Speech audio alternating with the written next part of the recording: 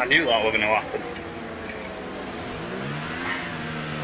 We're seeing major wing Oh, damage. Box, box, box. We need to like not be as close.